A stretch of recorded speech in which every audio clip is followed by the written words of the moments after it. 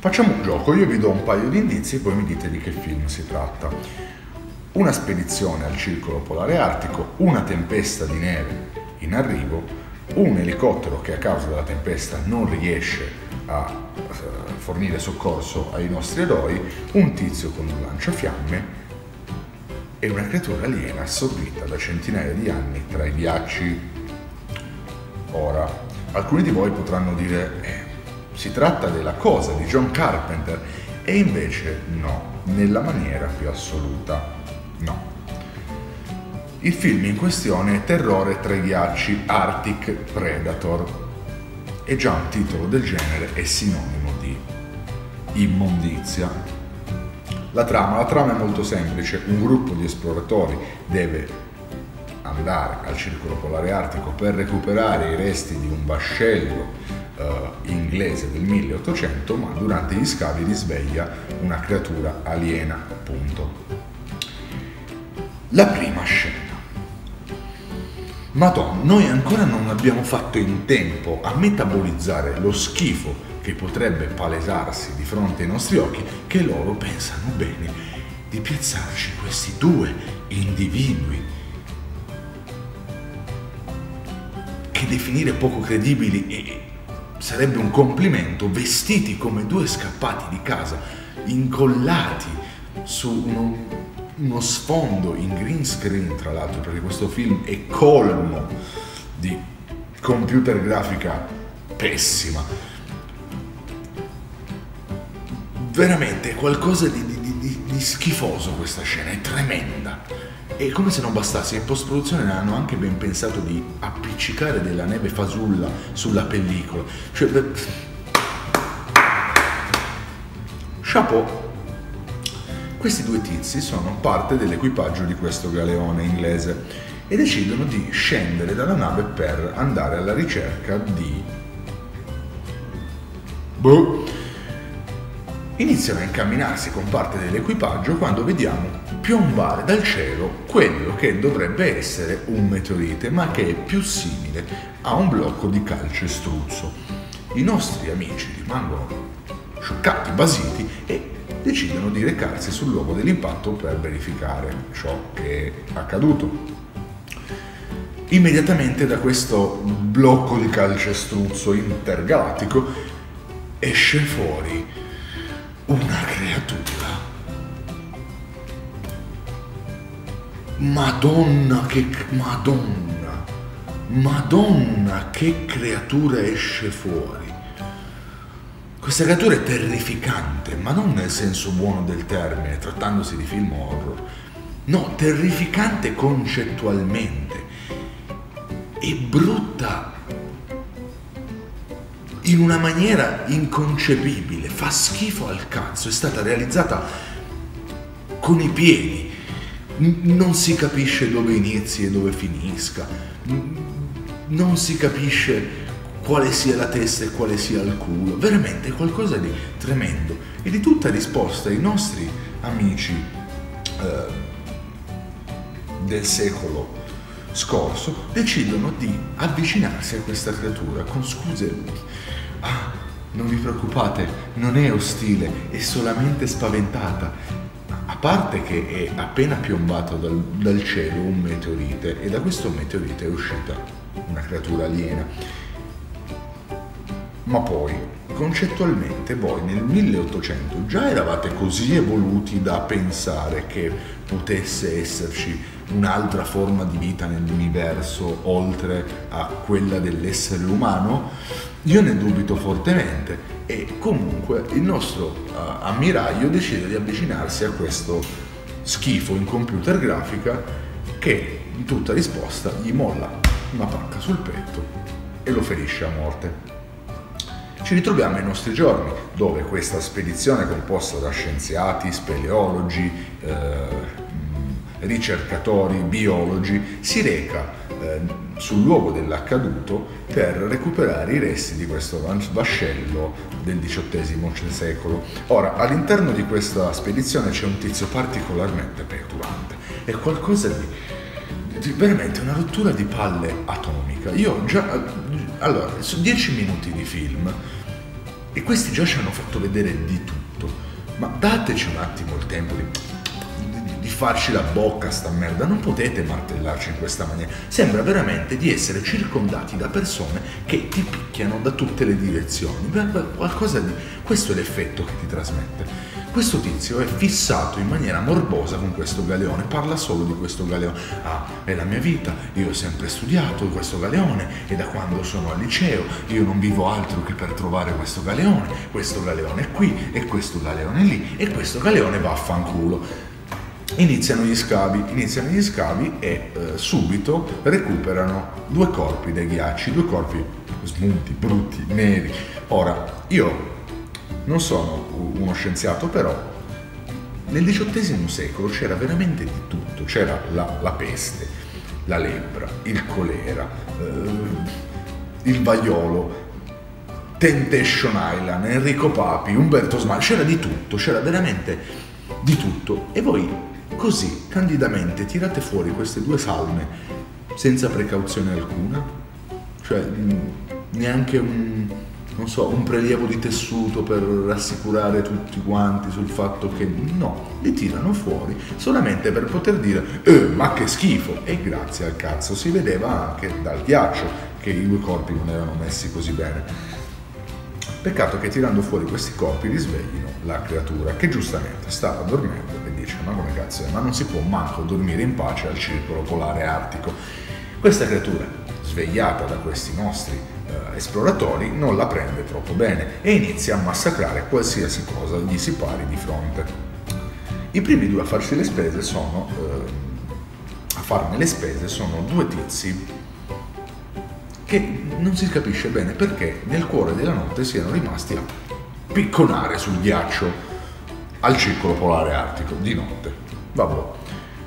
Questi tizi vengono immediatamente uccisi da questa creatura. La mattina seguente assistiamo al gran parte del, del, gruppo della spedizione che si reca sul luogo anche per capire che fine abbiano, fatto, che fine abbiano fatto quei due poveri stronzi e li ritrovano così eh, morti, stecchiti e assistiamo alla prima scena di, di, Oh mio Dio! Come sono stati uccisi? Questa non è opera di un essere umano. Chi o cosa? Ah, allora, se già hai capito che non è opera di un essere umano, le cose sono due. O prendi quelle due salme e ti levi dalle palle, o ti levi dalle palle senza prendere le due salme. Di certo non è che resti lì come poi accade, come un perfetto idiota a continuare a parlare di come siano ridotti i corpi, perché capisci che non è credibile. Infatti la creatura esce di nuovo fuori e li ammazza tutti. Ora ci ritroviamo insieme a due che erano stati mandati per chissà quale motivo 100 km più lontano a piazzare degli igrometri. L'igrometro è uno strumento che permette di eh, captare i cambiamenti di, del tasso di umidità all'interno dell'aria, dell'atmosfera, per capire se da lì a poco ci potrebbe essere eh, un cambiamento climatico Peccato che per radio sentiamo questi due tizi parlare col campo base e gli viene detto oh sbrigatevi a piazzare gli igrometri perché sta per arrivare una tempesta di neve. Ma allora per quale cazzo di motivo li hai mandati lì se sapevi benissimo che stava per arrivare una tempesta di neve? Li hanno mandati lì per farli uccidere dalla creatura. E perché dico questo? Perché la nostra creatura ha il dono dell'ubiquità vediamo questa creatura al campo base rompere le palle e un attimo dopo ritrovarsi in prossimità dei due poveri malcapitati che erano stati mandati a posizionare l'attrezzatura. Ora, anche loro come si fanno uccidere da questa creatura? Beh, molto semplicemente rimangono ad aspettarla. E come la aspettare? Beh, in maniera molto, molto scontata. Fanno per andarsene quando uno dei due a un certo punto ha la brillante idea di dire aspetta, fammi una fotoricordo. Ma una fotoricordo di che cosa? Una fotoricordo di che? Dietro di te non c'è nulla, non c'è niente intorno per centinaia di chilometri. Io capisco che tu sia andato al circolo polare artico e voglia documentare questa esperienza, ma cosa cazzo ti, ti fotografi a fare? Ci fosse un, un pezzo di ghiaccio particolare, un iceberg, non c'è nulla. L'unica cosa che si vede sullo sfondo e che lo stesso fotografo riesce a catturare è la bestia che caracolla giù da una collina poco distante. E glielo fa presente al tipo a cui sta scattando la foto, che di tutta risposta si gira e fa Ah, potrebbe essere un orso polare, ma stiamo scherzando. A parte che figlio mio, quello è tutto perché è un orso polare, ma anche si trattasse di un orso polare, L'orso polare non è la creatura più amichevole di questa terra, quindi secondo me vi conviene levarvi dalle palle perché quella vi si fa scarpe e tutto e di fatti la creatura arriva da loro e li ammazza. La scena in cui li ammazza è qualcosa di spettacolare. Uno dei due spara un narcotico alla creatura che di tutta risposta sembra non subire gli effetti del, del tranquillante. Allora il nostro amico zompa sulla motoslitta, fa per partire quando improvvisamente la creatura da che era a 5 metri di distanza gli si materializza davanti e lo disarciona dalla moto. Lui cadendo estrae la pistola narcotizzante e decide di sparare una bella freccia narcotica al serbatoio della slitta che di tutta risposta esplode. Esplode. Io non sono un cacciatore, ma dubito in maniera nella maniera più totale che all'interno di una freccia narcotica ci possa essere qualcosa di differente dal narcotico. Che cosa cazzo c'era là dentro? Nitroglicerina che spara al serbatoio di una motoslitta e la fa esplodere comunque la nostra creatura pare non essere eh, scalfita dal fuoco e notiamo il secondo potere della, della, bestia che è quella di sparare i polaretti dalle dita. Veramente i polaretti. Gliene spara 4 in petto e lo secca. Dal campo base hanno assistito a tutto attraverso la radio, quindi se già i cadaveri recuperati poco prima non fossero stati un incentivo per levarsi dalle palle, ora ne hanno un altro ben più marcato. Peccato che uno fra di loro, ossia quello fissato morbosamente col vascello, non voglia abbandonare il campo potrebbe non sembrare un problema inizialmente, anche perché gli altri gli dicono chiaramente guarda, se tu vuoi stare qui a fare l'arte dei pazzi, a farti ammazzare da quella cacata in computer grafica brutta, fai pure, noi ci leviamo dalle palle, anche perché sinceramente si è fatta una certa... Purtroppo però, eh, come abbiamo appreso in precedenza, il l'elicottero non può arrivare a recuperarli perché eh, sta giungendo una tempesta di neve. Eh, guarda la combinazione, ma pensa un po', non l'avrei mai detto. E quindi si ritrovano intrappolati in questo campo. La creatura che è lesta, è furba e astuta come un ceppo di legno eh, inizia a braccarli. E assistiamo allo spigone più bello di tutto il film. C'è uno scienziato in questo film, uno scienziato in è uno scienziato, non fate domande, uno scienziato. Quando tu dici che lavoro fa, lo scienziato, boh, è scienziato lui. E ti spiega come o cosa, perché questa creatura sia lì, che cosa sia, da dove viene. Ah, questa creatura mh, mm, ha orbitato per centinaia di anni attorno all'atmosfera di Giove, è, è costituita da isotopi del deuterio, da acqua pesante. Ma in che maniera l'hai capita tu questa cosa? sì, è scritta sul copione, ok, lo sappiamo, però dico tu proprio, umanamente parlando, come puoi averla capita che A non l'hai mai vista, B non hai avuto il minimo contatto con questa creatura? Come cazzo fai a dire queste cose? Improvvisamente all'interno del bunker inizia a calare il gelo. Tuttavia i nostri amici ci spiegano che potrebbe essere semplicemente una percezione sensoriale, poiché il termometro disegnava 17 gradi in precedenza e 17 ne segna adesso. Ma il nostro scienziato deve giustamente dire la propria e no perché la creatura si ciba di calore ed estrae il calore da... no, No, no. Se il termometro segna 17 gradi le cose sono due. O il termometro è guasto, ma come voi ci avete detto il termometro funziona perfettamente, o tu sei un emerito pallaro. Stai dicendo una marea di puttanate e di fatti sta dicendo una marea di puttanate, anche perché se la creatura fosse stata eh, come dire, dipendente dal calore in maniera così pronunciata come lui dice, com'è possibile che è stata sepolta 200 anni sotto 20 metri di ghiaccio e sia ancora viva? Perché la creatura è poco studiata e non sapendolo ha detto sai che c'è, io me ne freco e esco uguale a quel punto ci troviamo di fronte a un problema. Il gasolio dei, dei, generatori sta per terminare e due tizi decidono di uscire a recuperare le taniche ubicate in un capannone non ben localizzato nelle vicinanze.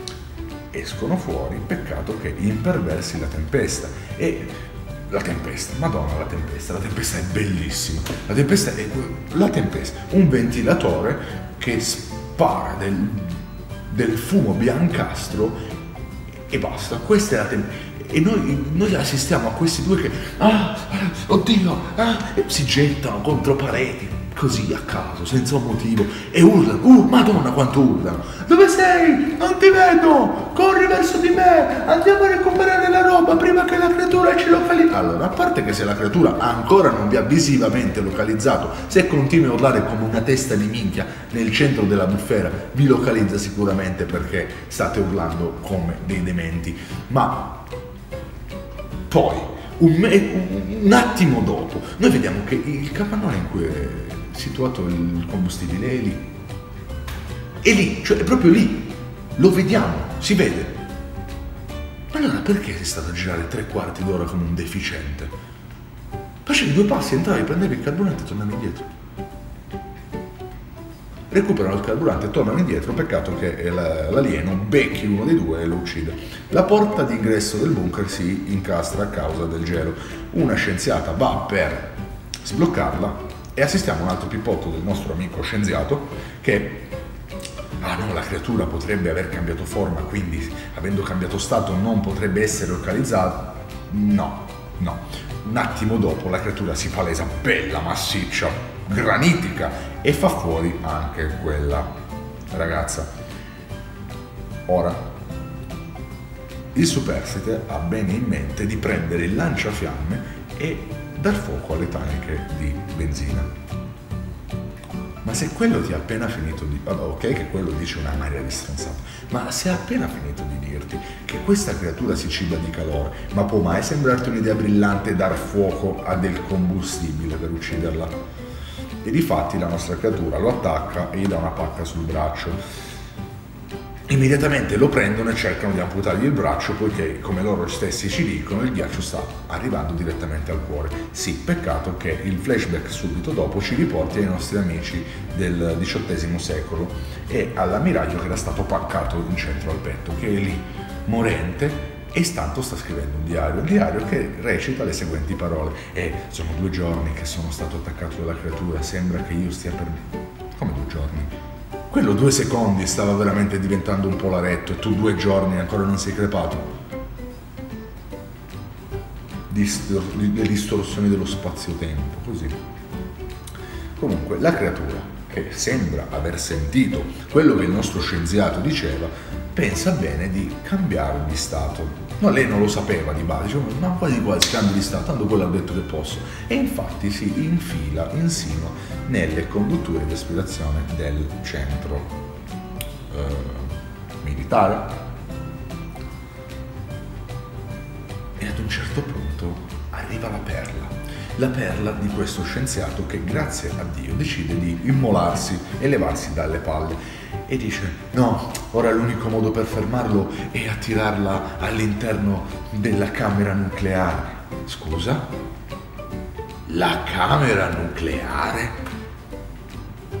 E che cos'è il nome di Dio, la camera nucleare? A parte il fatto che tu veramente mi vuoi far credere che una spedizione organizzata per andare a recuperare i resti di un vascello del XVIII secolo abbia l'attrezzatura per allestire, ammesso che esista una camera nucleare? E che cosa stavate andando a fare lì?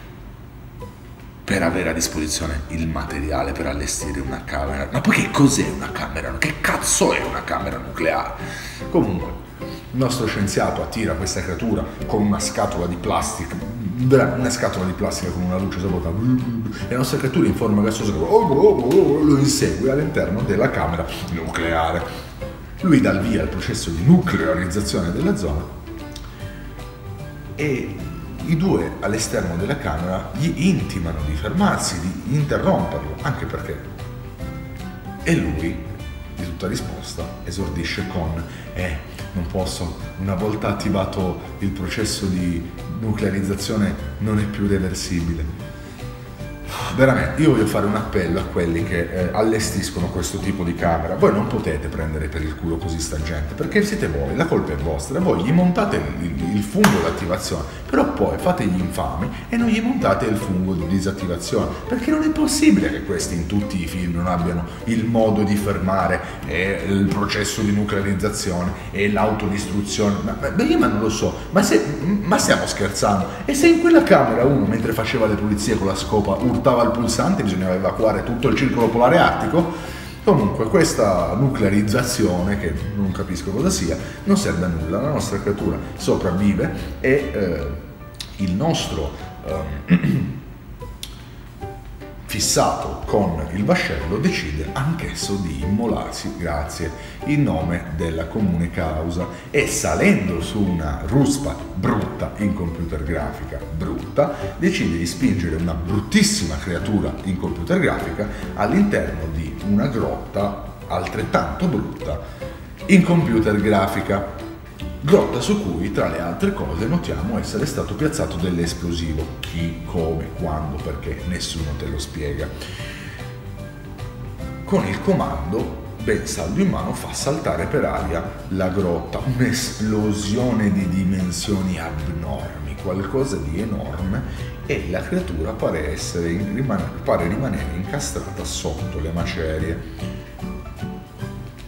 allora, mi hai detto per tutto il film che sta bestia si ciba di calore, ma io posso ritenere credibile il fatto che da un'esplosione di quelle dimensioni lei non abbia minimamente